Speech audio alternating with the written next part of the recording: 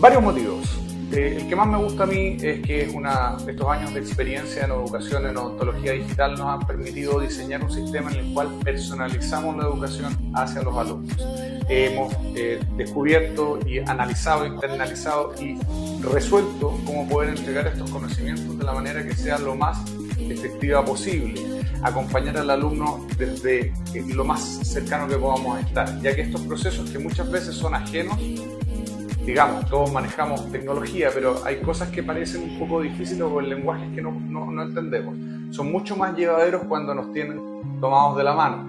No significa que no lo vayamos a dejar libre, pero en principio para poder aprender necesitamos una supervisión directa. Y por otro lado, que tratamos de entregar todas las áreas de la odontología digital a los alumnos para que conozcan el mundo en el cual, el mundo odontológico que está hablando de odontología digital hoy. No solo un flujo de trabajo, no solo una especialidad, sino que la mayoría. Y finalmente, no estamos, eh, digamos, auspiciados por ninguna marca ni queremos hacer un flujo de una sola marca, sino que acogemos a todas las que quieran presentarse.